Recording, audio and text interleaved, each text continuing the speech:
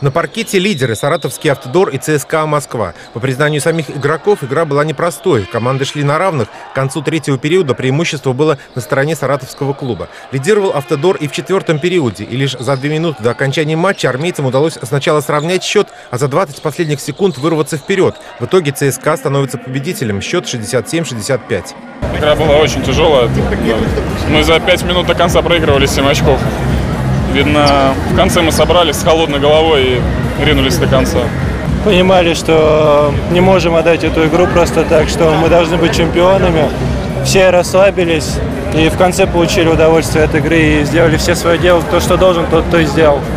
Финал восьми молодежной лиги ВТБ впервые проходил в Самаре. О больших спортивных амбициях игроков и болельщиков свидетельствовали не только накал борьбы на паркете, но и ситуации на трибунах. В числе зрителей руководство области и города. Глава Самары Олег Фурсов отметил, что проведение соревнований такого уровня – большая честь для города. Самаре баскетбол любим, и ваши победы, уважаемые спортсмены, вдохновляют нас на новые свершения. Знаете, что с приходом Николая Ивановича Меркушкина губернатора Самарской области, отношение к спортивной инфраструктуре у нас и в городе, и в области коренным образом изменилось. Строятся новые фоки, ледовые дворцы, спортивные площадки. Ваши успехи способствуют тому, что мы более бережно и внимательно относимся к нашим молодым подрастающим спортсменам. Надеюсь, будущим олимпийским чемпионам.